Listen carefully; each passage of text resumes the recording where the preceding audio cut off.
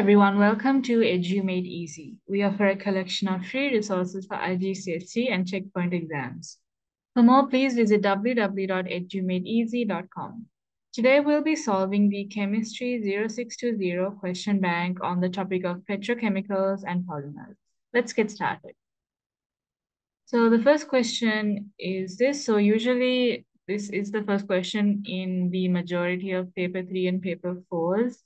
So they give you like a bunch of compounds and you basically have to match the description uh, to the compound or the structure in this case.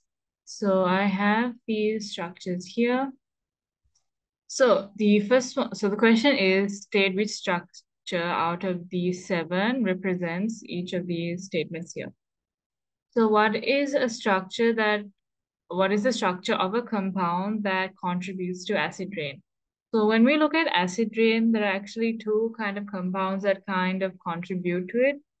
So we can either have sulfur dioxide or nitrogen dioxide. So you're supposed to be familiar, I think, with both.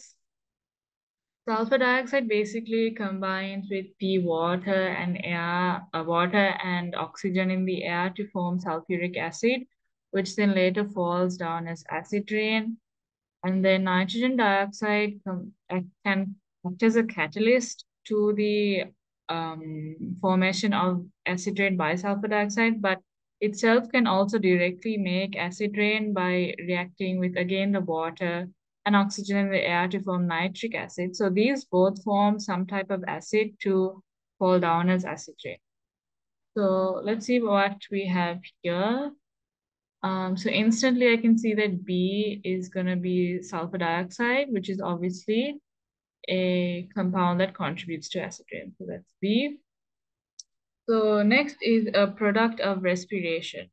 So the equation of respiration, you guys should be familiar with.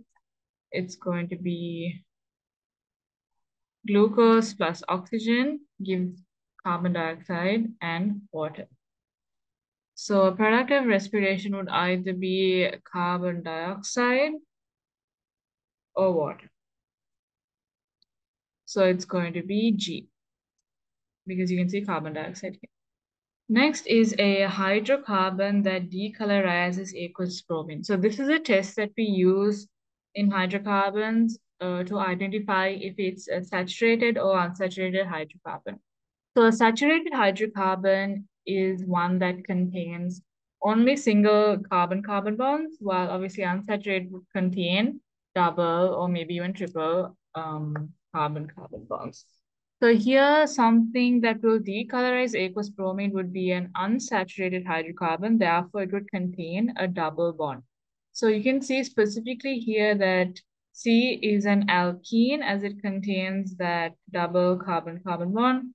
Therefore, it would decolorize aqueous bromine. Next is a carbolic carboxylic acid, sorry. Um, carboxylic acids you can identify with the functional group COOH. So there would be a double bond with the carbon and oxygen, and then there would be an OH group like that. So you can clearly see here that D is a carboxylic acid as it contains that COOH uh, functional group. Next is a compound that is the main constituent of natural gas. So the main constituent of um, sorry natural gas is methane, which is denoted by the formula CH4 and which you can see clearly in A. So CH4 is an alkane or methane, so therefore A. Okay, compound C can be produced by cracking the kerosene fraction of petroleum. Compound C is what? So there's two carbons, so we can know how to name it by monkeys eat peeled bananas. That's kind of a, I guess, mnemonic you can learn.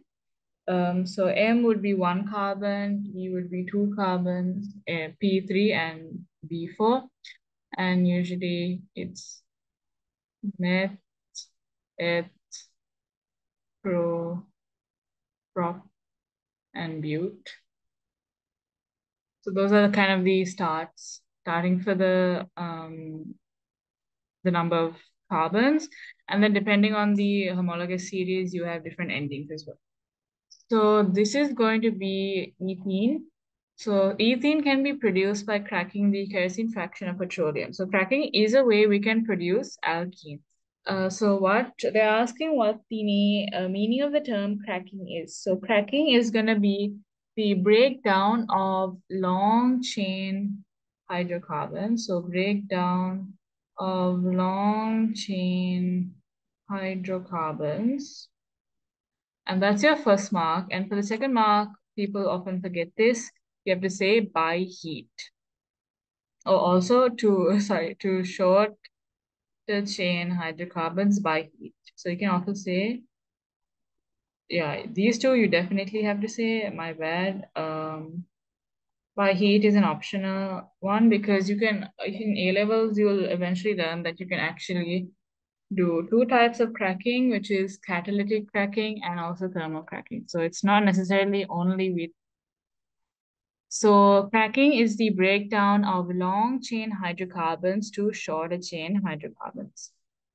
Okay, now it says to complete the chemical equation for the cracking of C13H28 to form C8H18 and one other hydrocarbon. So when we crack alkanes, which is here, this is an alkane. How do we know that? Because if we check the general formula of an alkane, it should fit. So C13, 13 times 2 is 26, 26 plus 2 is 28. So this is an alkane. And we crack alkanes to form uh, alkenes and alkanes, right? So one product has to be an alkane, the other definitely has to be an alkene.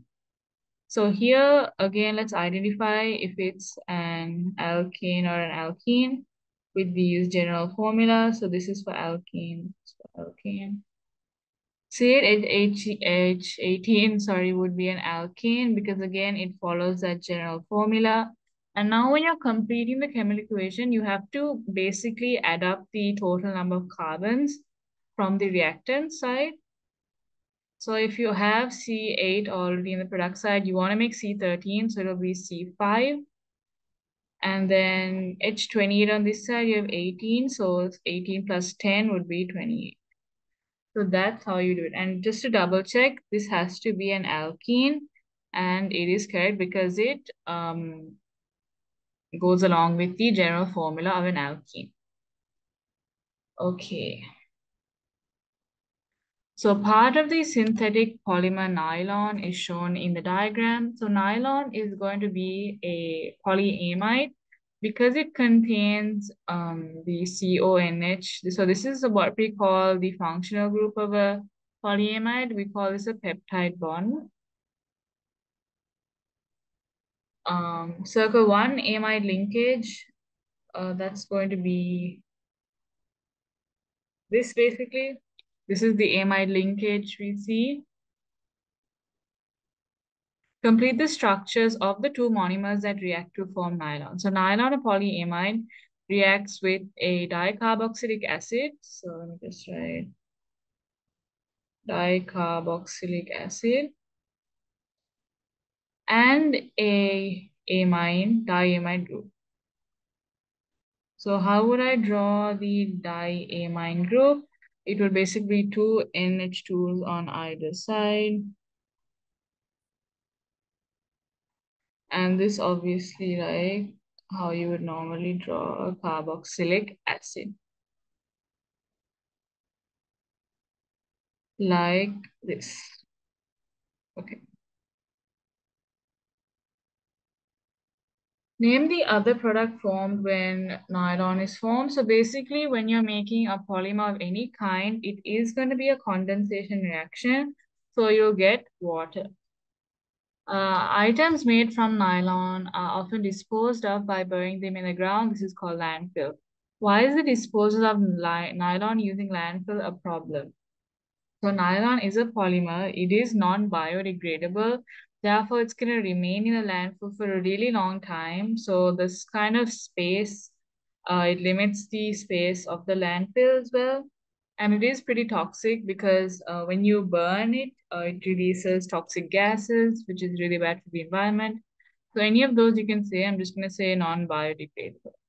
Okay, ethanol can be manufactured by the fermentation of glucose. State two other, so one condition is using enzymes in yeast, and what is the other two conditions you have to use for fermentation? So basically, fermentation, we describe it of aqueous glucose at about room temperature, so 25 to 35 degrees Celsius, in the presence of yeast and in the absence of oxygen.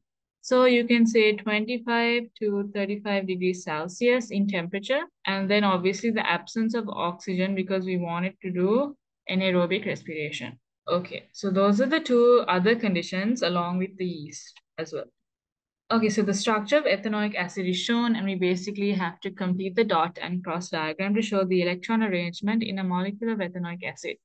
So when they've given you the displayed formula, it is so easy to complete the dot and cross diagram because it basically shows you where, where there is going to be a double bond and where there's just going to be a single bond.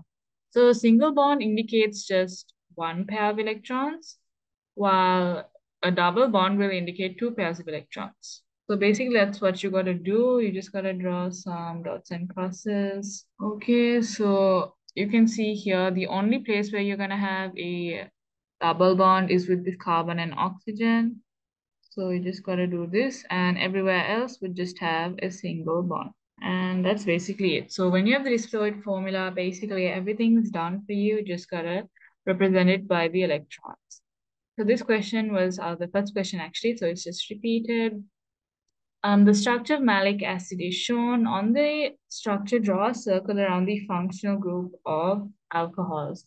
So you're supposed to know the functional group for alkanes, alkenes, alcohols, and carboxylic acids and esters. Um, so the alcohol functional group would be OH. So here you can see we have two places, or actually three. So let's just circle this, this, or this. So any, any three, any of, any one of these. Reduce the formula of malic acid to show the number of carbon, hydrogen, and oxygen atoms. So basically, you just count them. So you always start, usually the it goes like CHO, so the number of carbons first, and hydrogen, and then oxygen. Carbons, we have one, two, three, four. Hydrogens, we have one, two, three, four, five, six. Oxygens, we have one, two, three, four, five. So your formula would be C4H6O5. So just count the number of elements that there are. Tartaric acid can be converted into compound A and the formula of compound A is C3H4O3 C3H4O3 and complete the table to collect uh, to calculate the relative molecular mass of compound A. Okay, so number of carbon atoms they've already done and they've calculated that relative atomic mass of the carbon atoms. Hydrogen, we have four. So essentially four times one is four. The number of atoms of oxygen is three. What's three times 16? It's going to be 48. And then you basically just add up these three numbers. So 48 plus 4 plus 36 is going to be 88. So relatively simple question. Okay, proteins are natural polymers. Proteins contain amide link linkages. Uh, synthetic polyamides also contain amide linkages and state or name a synthetic polyamide. So you have one in your syllabus called nylon, which you're supposed to know and identified the two functional groups present in the monomers used to produce synthetic polyamides like nylon. So we talked about this. It's going to be carboxylic acid and amine. So why would you be wrong to say dicarboxylic acid and diamine? It's because the question specifically tells you the functional groups. Okay, so you basically just have to say carboxylic acid. In a dicarboxylic acid, it's just two of those carboxylic acids. So functional group is the only thing that's needed here. It doesn't say the actual compound that you need. It just asks for the functional group. So that's why it's sufficient to write carboxylic acid and amine. So there are three functional groups in compound A, and you have to name the homologous series of the compounds that contain the following structures. So C double carbon-carbon double bond would be an alkene, OH would be alcohol, and COH would be a carboxylic acid. Okay. Now, ethanol can be manufactured by two different methods, either fermentation of sugar or the reaction of ethene with steam. give one advantage of using fermentation compared with method two. So it is um, more sustainable and renewable because obviously ethene is an hydrocarbon in which you have to crack um, petroleum, which is obviously not sustainable and renewable. So the advantage is that sugar is renewable. It's a renewable source of energy. Now give one a disadvantage of using fermentation compared with method two. So it's known for being really slow process, which obviously is a disadvantage. So it's a slower process. Okay. And ethanol can be manufactured from ethene. Ethene can be made from long chain hydrocarbons such as decane. Ethene is then converted into ethanol. Name the process used to obtain ethene from long chain hydrocarbons such as decane. So we talked about this cracking. And again, to complete the chemical equation, make sure you have the same number of carbon and hydrogen atoms as you have in the reactants. So here it is a bit different because you have um, two spots left. So it's two spots to fill.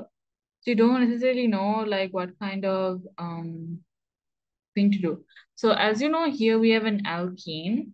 So if you already have alkene, we have to have basically two other alkenes as well. So the only way to have two other alkenes would be to do C2H4 and C, C4H10. Sorry, my bad. This is an, yeah, this is an alkene. So the only way to do it is to do have another alkene and another alkane. So that's basically, and make sure they add up to the reactant. So the carbon atoms react to the number 10 and the hydrogen atoms add up to the number 14, sorry, 22. And write the chemical equation for the conversion of ethene into ethanol. So this is by the reaction of steam. So ethene is C2H4 plus H2O. Here they haven't specified to give state symbols, so we can just write that. And ethanol is C2H5OH. And that's basically it. If you have any questions, please put them down in the comments and we will be happy to assist you. Thank you for watching.